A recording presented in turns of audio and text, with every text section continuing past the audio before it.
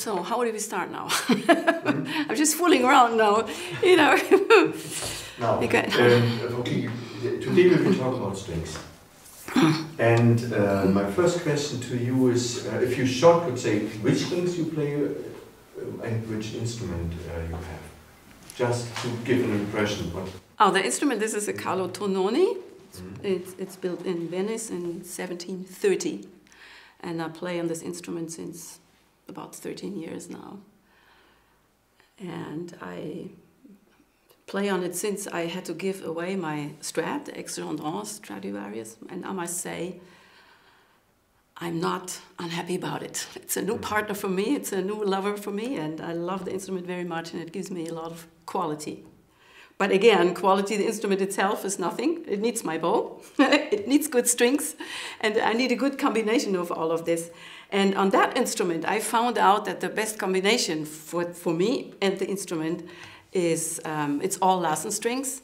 And the A string is the solo medium, which I play already for many, many, many years. And I have tried other strings as well, but I always came back to that one. And then, since the Il Cannone exists, I changed from the normal Larsen, normal, what I what you could you could buy before. I, I changed to the um, uh, Il Cannone, and I like on that instrument very much the clear and focused D string, mm -hmm. and the same on the C string.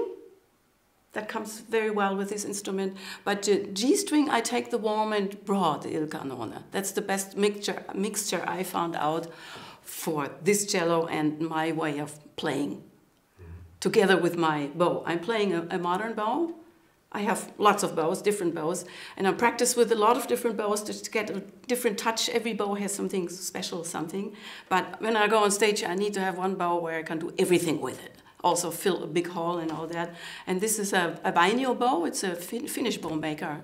He's an old man by now but he, he makes very, very good bows. It lies very well in the hand. and I can use weight, I can play very soft. And the bow has its own weight here at the tip. So that fits very well with this bow and the strings together with that instrument.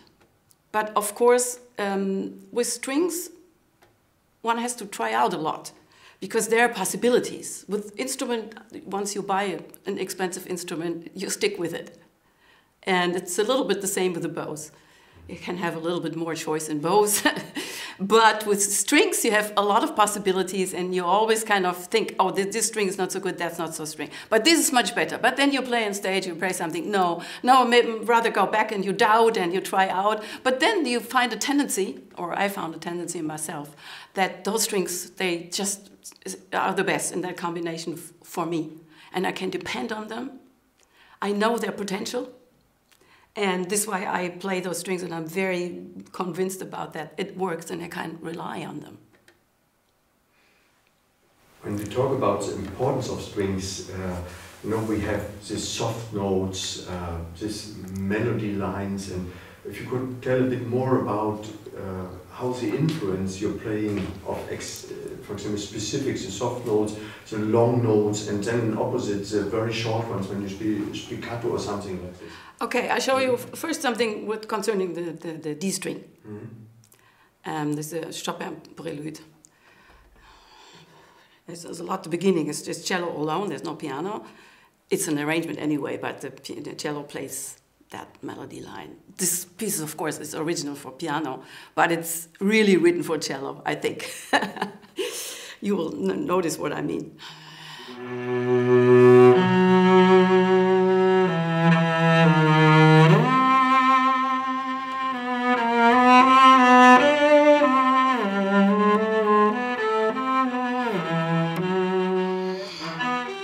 Now switching to A string.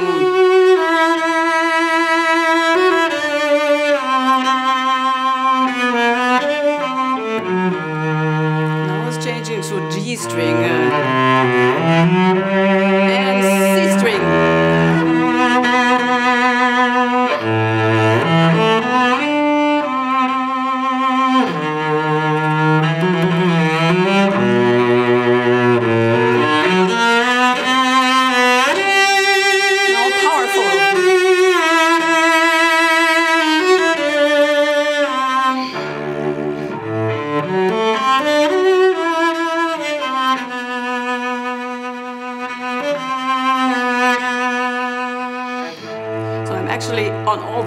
But they're matching well, very well.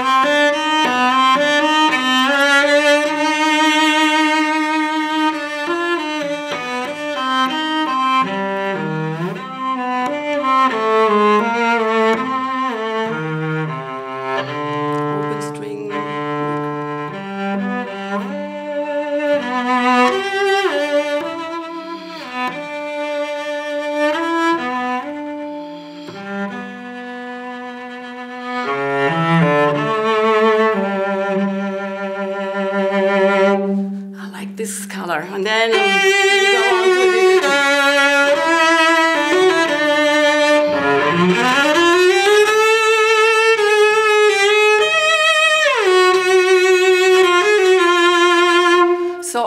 range of dynamic is, is very, it's very, it has a big range and I have many possibilities of do what I want according what I feel, what the piece demands from me.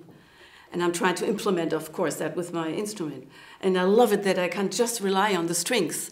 Each string has its own character, but they're all blending well with, it, with each other. And with short notes, it's a very delicate thing, uh, actually. Usually, all the cellists, including myself, we know that short, light notes, they very easily squeak. And they don't speak very well. And I'm disturbed by that. I don't like it. I like the beauty in the sound, even in short notes. I like quality in the sound. And those strings can give me the quality I want. For example, Senaillé Allegro Spiritoso. It's a little encore piece, actually. This That's very dangerous.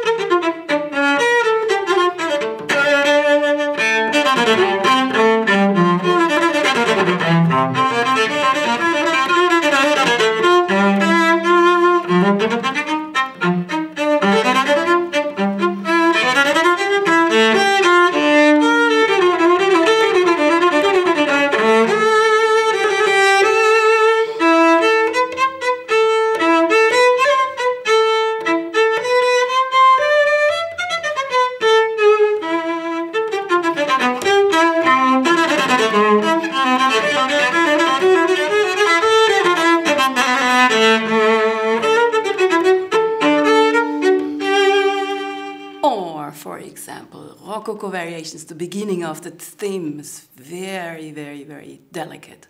We're coming out of this silence, the horn plays da da da dee dum, and it's nothing, and then starts the cello playing with feather-like light notes. And they shouldn't squeak.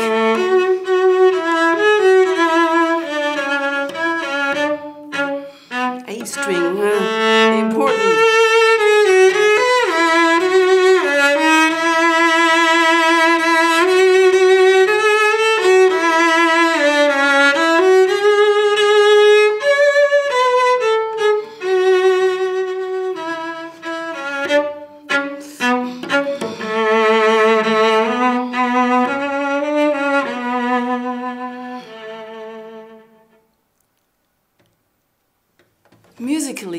uh, very demanding. It's not nothing for show. It's nothing for dough, but it's something for, for quality, for ear which likes to hear beautiful things. And the strings need to make me able to believe they can do it, what I want. Otherwise, musically, I'm not free to, to play further light like notes. It's so important to depend on it. Um, that's a, every note has a quality, and they building all together a line. Of course, it's a musical line. And with, with the Larsen strings, I'm very happy with, with, with this. It's a sound which is round and full in each range, whether it's pianissimo or piano or fortissimo, mezzo forte, whether there's an accent, whatever I want to do, they react to what I like to do. And I like to do what I think, what the score tells me which is very, very different. Of course, I feel it different than another cellist, another musician, another listener. But of course, I want to do what, what I think should be heard in the music. So I must learn to be the pilot of my plane. and the plane, the strings are my, is, is the plane. I'm just the pilot of, of leading that. So we need each other. The plane needs the pilot and the pilot needs the plane. And all needs passengers. passengers for me, that's the audience. We all belong together somehow and we are all depending on the composer of the piece of paper and have in front of me the little black dot notes. So I have to make them alive as a player and a life with quality, and I need the good tools for it. So we, we need all this good quality equipment. And strings are sure a big, big, big, a huge part of it. And I found out the Il Cannone really, they give me the, the best possibilities I, I, I want. Of course, it needs technical instrumental skills to do it. And not always it doesn't work always 100% sometimes a little too much pressure in the bow or not enough pressure or the speed isn't right then the string is squeaking even it's really good or it's scratching or just producing some dirt. But the percentage of how, how, how often everything works well it's, it's, it's very high. And otherwise it's just a human fault and which is kind of normal. We're not no machines. But I can see, see I want to have a quality in a short note, open D string, something like this. There's a round, soft note and not something like this. And some strings, they cannot do this. And I, I personally like that and I want that. I must have it, otherwise I'm not happy as a musician. See, that was bad. That's good. That and this is from the Kodály uh, sonata with piano. Second movement starts like that, and a light note like a ricochet, something like this. That happens in Stravinsky Suite Italienne. And this pushing flageolet. While the piano's playing Siciliano, which is very soft and very kind of swinging and moving, and the piano and the cello is playing against it. So, and kind of disturbing what's going on in the piano. But after that comes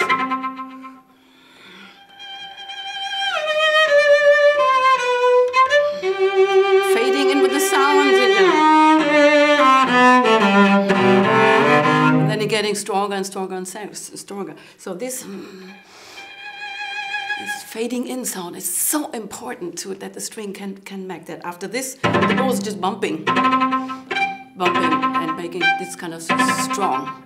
And the bow is doing this, and now I have to get everything quiet, and the bow kind of let the sound flow in, coming from nowhere. It's there all of a sudden, and then like a little sunbeam on the note is going down. And this is, for me, this is utmost beauty. And the score tells me to produce that. So I have to fight for it, and I need the good things to be able to use that.